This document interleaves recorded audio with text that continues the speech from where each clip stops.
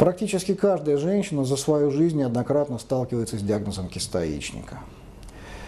Особо обращая внимание наших уважаемых пациенток, что не всегда так называемая киста яичника на самом деле будет являться простой доброкачественной кистой. Очень часто врачи путают диагноз киста яичника с доброкачественной опухолью. Бывает и наоборот.